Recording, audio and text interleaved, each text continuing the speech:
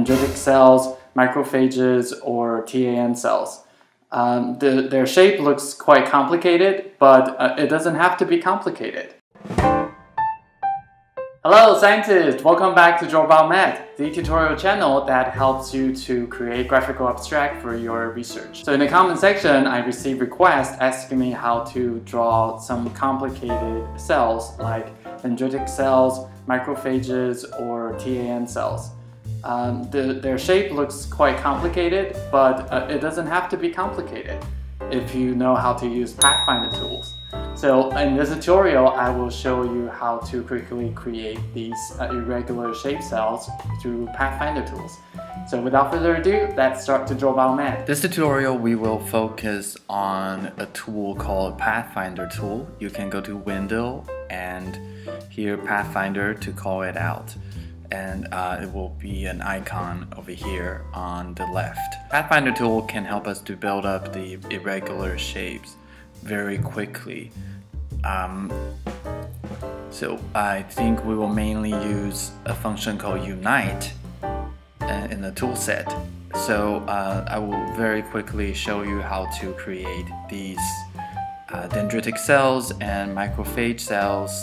So first I will create an ellipse as the cell body. Well, I already have one over here, but I will draw it again. And then uh, the nucleus.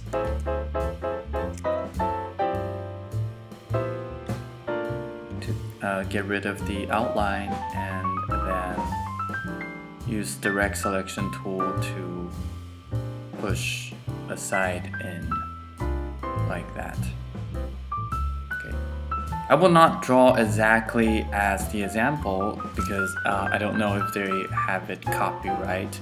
So uh, it's actually a great thing to learn how to draw these images by yourself so you can do some small alternation and adjustments. Um, then um, you'll be more comfortable using them. I know a lot of my scientist clients are quite concerned with copyrights. Then we can put on the processes onto the cell body.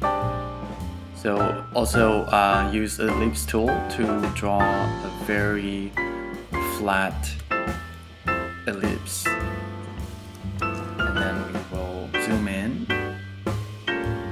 and do some minor adjustments with the direct selection tool to make one tip rounder instead of pointy. And the sides, I'll make it a little bit inward.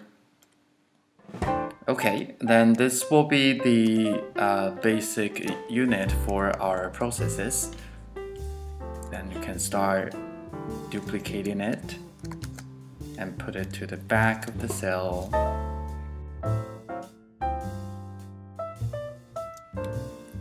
Okay, then I will add on some of the smaller ones.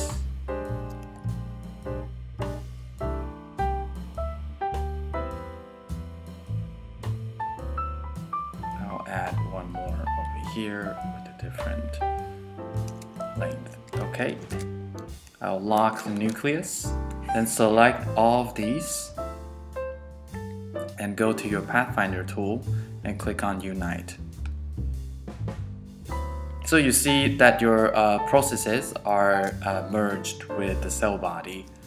So now we will only need to make these transitions rounded. So uh, let's select them all and then click on these round handles. I'll zoom in so you can see it clearly. Select these and then drag on these round handles and you can smoothen up these angles. The rest of the process is really uh, just the refinement of the shape of your cell and make it uh, the way that you like it to be. And you can always add more processes along the way with direct selection tool. Just make sure that you put the new uh, components at the back before you unite them. So it will apply the same gradient onto your new process. That can save quite a lot of time.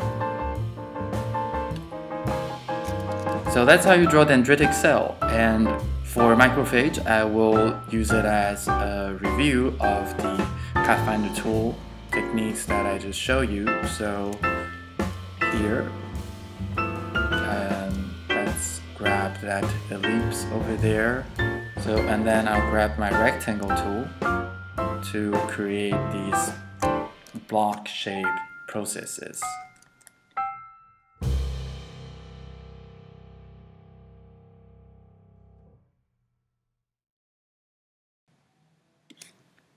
Okay, when you're ready, select them all and click on Unite.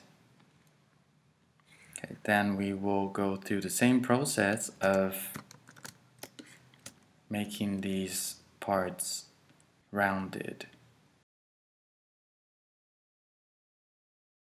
You see that they have a little rim over here, of a little rim of light.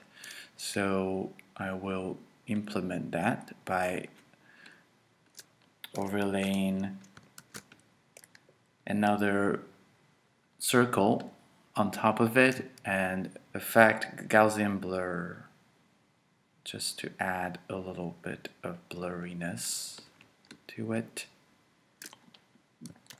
Okay, and uh, then that's good. Lock these two.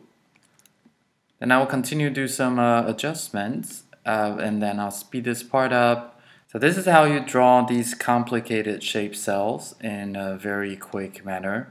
And uh, I hope this help you with your graphical abstract. And if you find this video helpful, welcome to give a thumbs up and subscribe to DrawBioMed. And uh, I look forward to seeing you in the next tutorial.